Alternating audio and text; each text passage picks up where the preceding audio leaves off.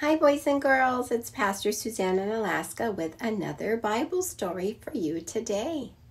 Today, we're going to talk about Abraham and how God asked him to do something that was kind of hard. But Abraham obeyed God, and it's very important that we always learn to obey God. And when we do, it always works out best. So today we're going to learn about Abraham obeying God, and then we're going to learn about God answers a prayer. So are you ready? We have two stories. Let's begin. God had promised to give Abraham and Sarah a son. But years and years and years went by, and Sarah still didn't have a baby. Then finally, when Abraham was 100 years old, a baby boy was born to them, and they named him Isaac. What a happy day it was when God's promise finally came true. One day when Isaac was a teenager, God told Abraham to go to Mount Moriah and sacrifice Isaac on an altar. What? How could Abraham kill his own dear son? But Abraham knew that he must do whatever God said. He knew that God could bring Isaac back to life again.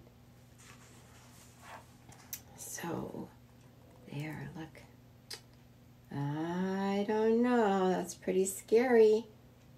Shall we see what happens? So, Abraham and Isaac traveled to Mount Moriah. And Abraham laid Isaac on the altar, and then he raised his knife to sacrifice the son that he loved so much.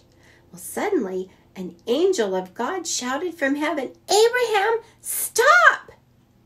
The angel told Abraham not to hurt Isaac.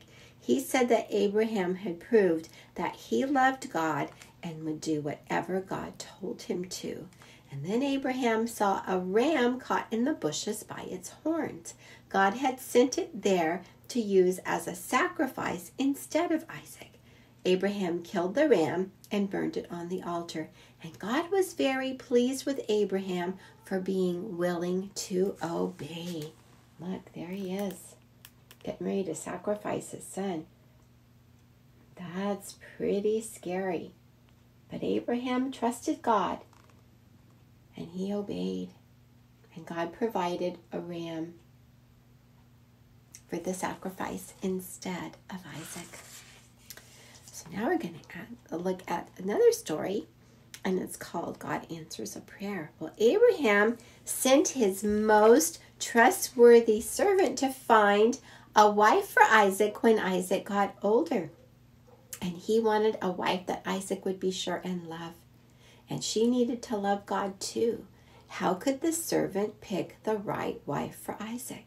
He asked God to help him, and God did.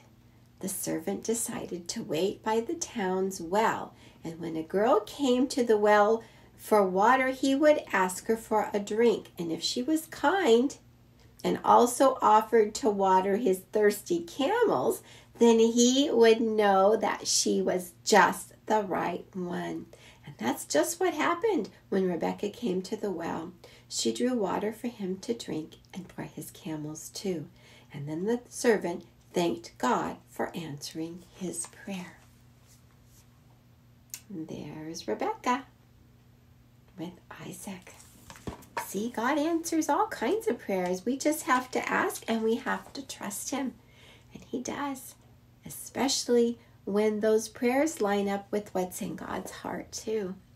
So, boys and girls, I want to pray for us right now. Thank you, God. Thank you, God, for the lessons that you teach us through your word. Thank you how important it is for us to always obey you and to trust you and to love you most of all.